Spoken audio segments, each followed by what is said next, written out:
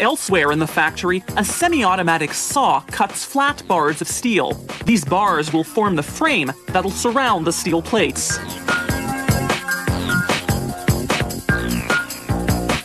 Meanwhile, another machine called a turret fashions steel bars into moving parts for the locking mechanism and also into hinges. That milky liquid is a lubricant. Normally, you see raw material move on an assembly line from tool to tool.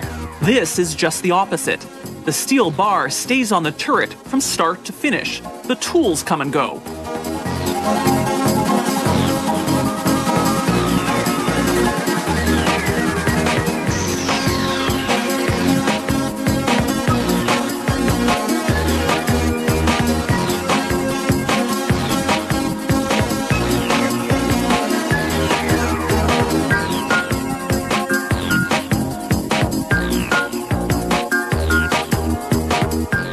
Take pieces of sheet metal cut into shapes by laser and bend them in a press to make various parts and mechanisms.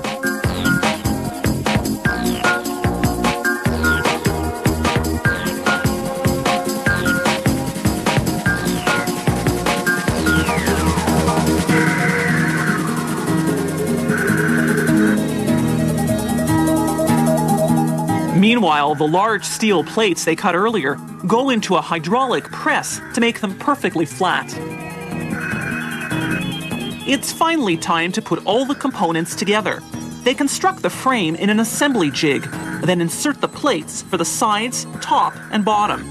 Using the semi automatic soldering gun again, they fuse the pieces together. They measure the angles, then use a giant clamp to square the safe. Finally, they install the plate for the back of the safe and solder the joints.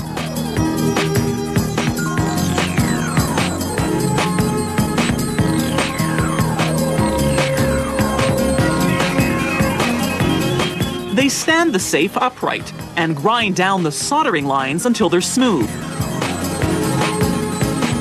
This factory also produces what's called a composite safe, made of soft materials such as copper, aluminum, and low grade steel. But it has a cement core, making this safe harder to break into. The finished safe gets three coats of paint. Then, in the finishing department, they install the mechanical or electronic locks and locking mechanisms, as well as the internal time lock mechanism.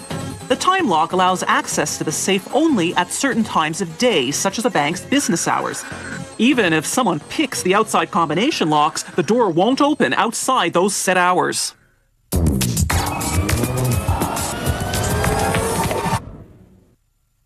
The machines that sterilize medical instruments use ethylene oxide, a highly toxic gas. Now, there's a new method that's safer, more effective, and less expensive. This new machine uses ozone as the sterilizing agent. Ozone is a form of oxygen.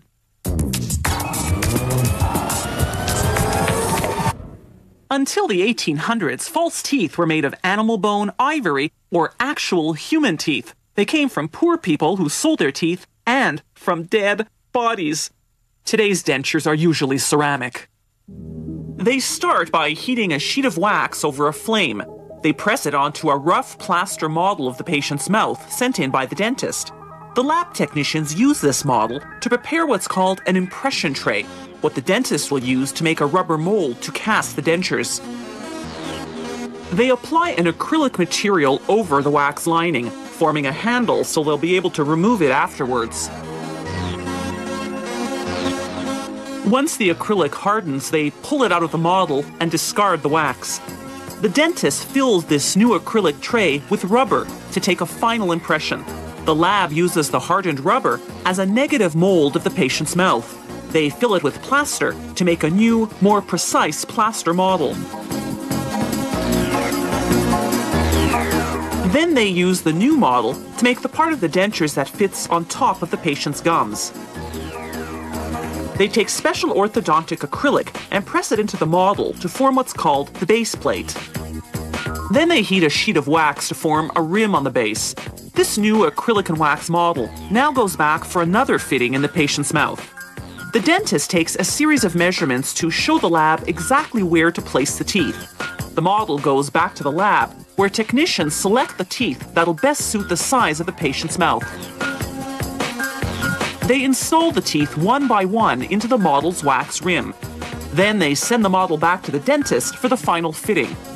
The dentist checks that everything is centered and that the patient's bite is properly aligned.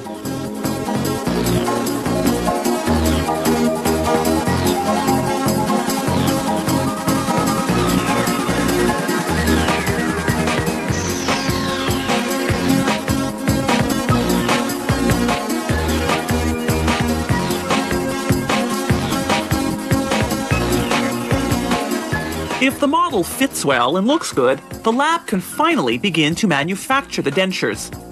They position the model in a special holder called a flask, then attach channels through which acrylic will later be injected. This acrylic will replace the wax holding the teeth in place. But first, to get rid of the wax, they have to cast a plaster mold to hold the teeth in place. Once the plaster dries, they submerge it in hot water for five minutes to melt the wax inside.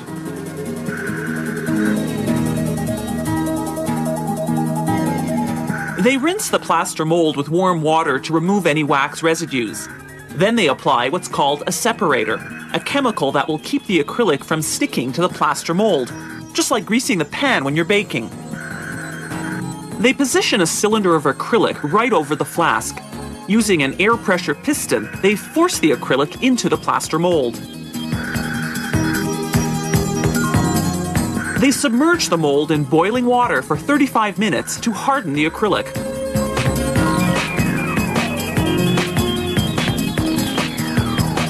Once the flask has cooled down, they break the plaster. The false teeth are now securely rooted in acrylic gums. A bit of finishing, and they'll be done.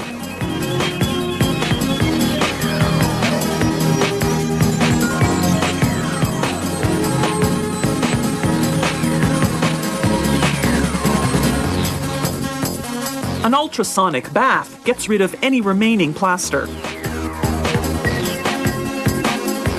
They polish the acrylic with pumice, then shine it up with a polishing compound.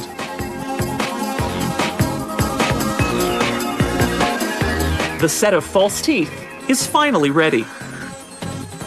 When a patient doesn't need a full set of dentures, just a few teeth, they get what's called a partial, made much the same way, but hooked on at either end to the patient's natural teeth.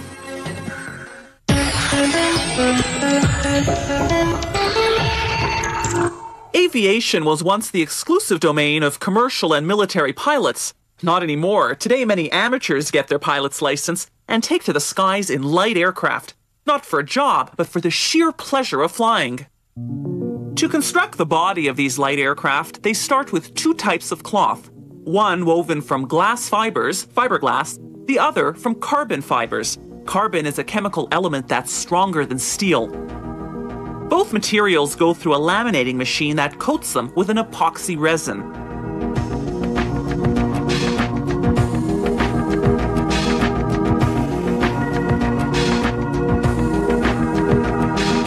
To begin forming the various parts that make up the body, workers lay strips of the laminated fabric into molds. The engineering plans dictate the precise positioning of the strips, which is critical for strength and durability.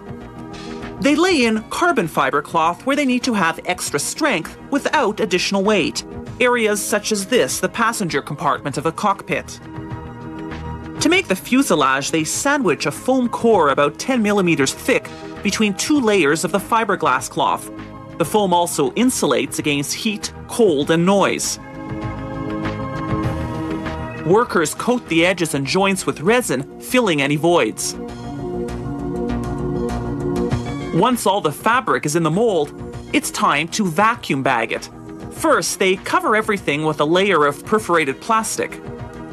Then with a breather cloth, which looks like a white wool blanket. Then comes another layer of plastic. They attach a vacuum to suck out all the air.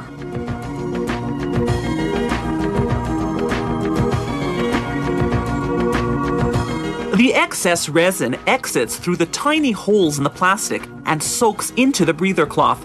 Now that the mold is airtight, it can begin to cure. They put it into an oven at 40 degrees Celsius for 8 hours. Once the molds come out of the oven, workers install the internal structure. Then, using the same epoxy resin they used earlier to laminate the fiberglass and carbon fiber fabrics, they bond the tail's upper and lower shells together. They do the same with the wings. The parts are left to cure overnight. The next day, they finally come out of the molds. Next stop, the trim shop. Workers remove the excess fiberglass and cut out the windows.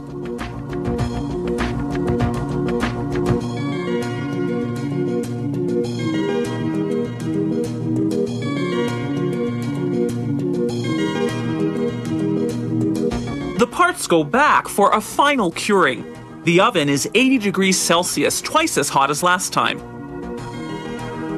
18 hours later, out they come for painting.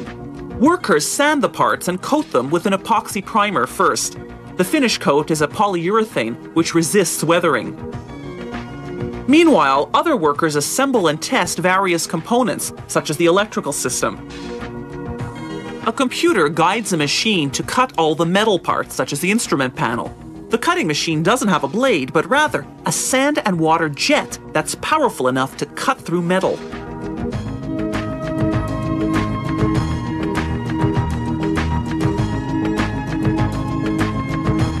A certified aircraft welder prepares the engine mount, the base that will hold the engine in place. It's made of high grade carbon steel. At the final assembly stage, workers install the engine and other previously assembled components into the fuselage. Workers position the wiring and plumbing, then hook them up. They screw on the wingtips, which already have their navigational lights. An avionics technician powers up the airplane for the first time to function test everything. The final inspection takes place where it really counts in flight.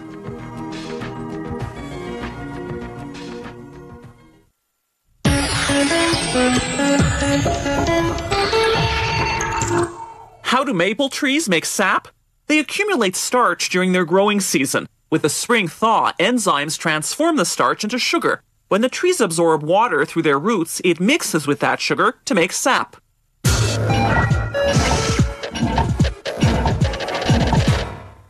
Long before the white man came to North America, the native Indians revered the maple tree. In early spring, they'd pierce its trunk with a tomahawk, then place a wood chip under the hole to channel the sap into a bark container.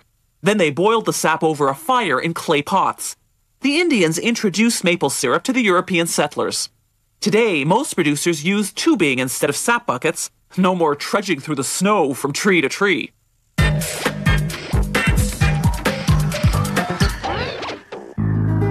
The time to collect sap is in the early spring, when the maple trees are still dormant, and when the temperature hits 3 or 4 degrees above freezing. The freeze and thaw cycle alters the pressure inside the tree and starts the sap flowing. The first step is to tap the trees. They drill a hole one centimeter in diameter, five centimeters deep, then gently insert a spout made of metal or plastic. It's important not to damage the bark. That not only harms the tree, but also lets air in the sap, which ruins the flavor. You don't see too many sap buckets around anymore. Today, sap is pumped through polyethylene tubes to larger collector tubes. Then into the pumping station. Sap is 97.5% water and only 2.5% sugar, so to transform the sap to syrup, they have to boil it down. It takes 40 liters of sap to make just one liter of syrup. When the tank fills up, the sap is automatically pumped to the sugar house into a stainless steel tank. The more advanced producers use a specialized machine that partially concentrates the sap by reverse osmosis. This more than triples the sap's natural sugar level and means they'll have less boiling to do.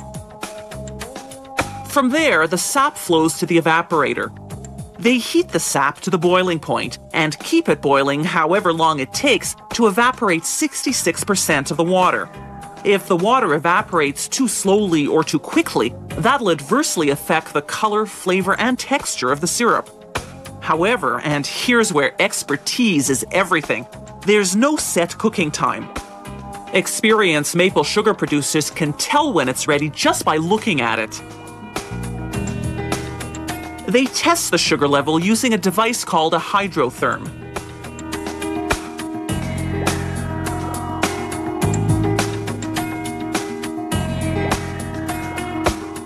When the syrup is just right, they run it through a pressure filter to remove calcium residues and other impurities.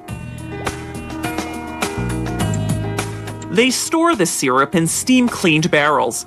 The lab at the central warehouse tests a sample from each drum. Using sophisticated instruments, technicians classify the color from dark to extra light. They also assess the quality. Lower grade syrup is for industrial use, higher grade for the retail market. They pasteurize the syrup, then put it into huge stainless steel storage tanks. The tanks are vacuum sealed with a nitrogen barrier to preserve the flavor and color and to prevent fermentation. It also keeps the syrup from crystallizing. The lab then uses an instrument called an atomic absorption spectrophotometer to analyze the syrup's mineral content, making sure it meets market standards. Next, they warm the syrup in stainless steel heaters.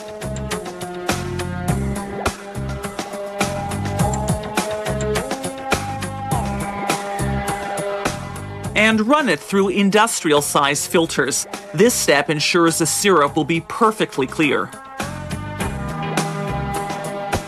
Then, just before bottling, they heat the syrup again, this time to 82 degrees Celsius. This not only sterilizes the bottles, but also guarantees the syrup will have a four year shelf life.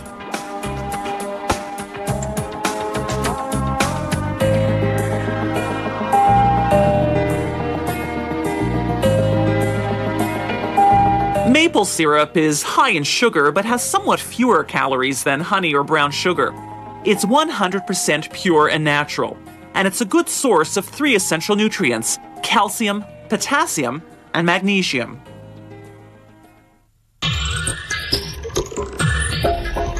If you have any comments about the show, or if you'd like to suggest topics for future shows, drop us a line at www.howitismade.net.